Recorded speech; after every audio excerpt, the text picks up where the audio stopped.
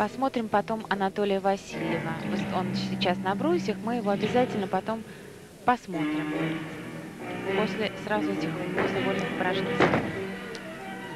Небольшой заступ. Да.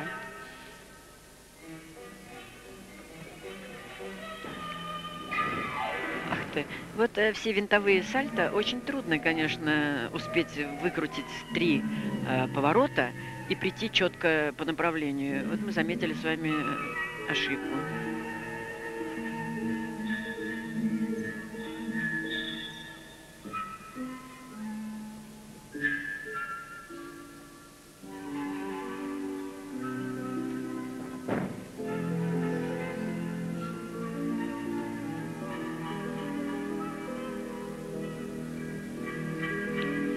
Ну последняя диагональ.